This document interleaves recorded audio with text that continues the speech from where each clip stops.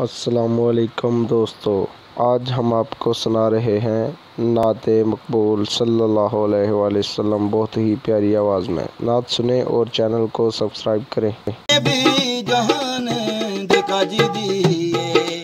मेरे सोने पाप मोडे कमली सजी मैं ते कमली ਕੰਬਲੀ ਵਾਲੇ ਦੀ, ਉਹਦੀ ਕੰਬਲੀ ਦੇ ਵਿੱਚ ਮਸਤ ਹੋਈ। ਉਹਦੀ ਲਾਏ ਲਾ ਵਾਲਿਬੀਨ ਸਯੋ ਉਹਦੀ ਲਾਏ ਲਾ ਵਾਲਿਬੀਨ ਸਯੋ ਮੇਰੇ ਤਨ ਮਨ ਦੇ ਵਿੱਚ ਹੀ ਵੱਜਦੀ ਏ।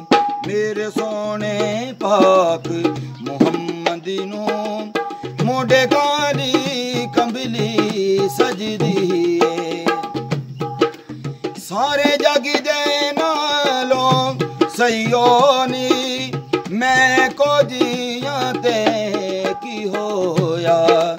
ਜਿਹੜਾ ਸਾਰਿਆਂ ਦੀ ਲੱਜ ਪਾਲਦਾ ਏ ਉਹਨੂੰ ਲਾਜ ਗਰੀਬਾਂ ਦੀ ਲੱਜਦੀ ਏ ਮੇਰੇ ਸੋਹਣੇ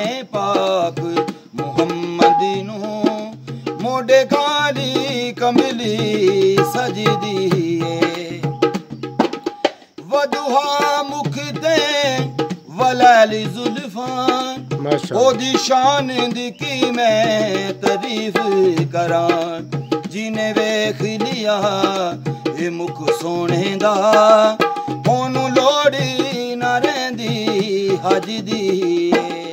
ਮੇਰੇ ਸੋਹਣੇ ਪਾਕ ਨੂੰ ਮੋਢੇ ਕਾਲੀ ਕੰਬਲੀ ਸਜਦੀ ਏ।